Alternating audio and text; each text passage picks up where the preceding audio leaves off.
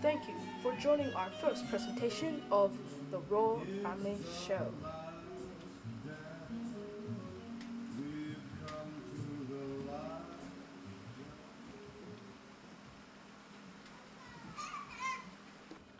And for our first presentation, we have Angelica, the one that made this show.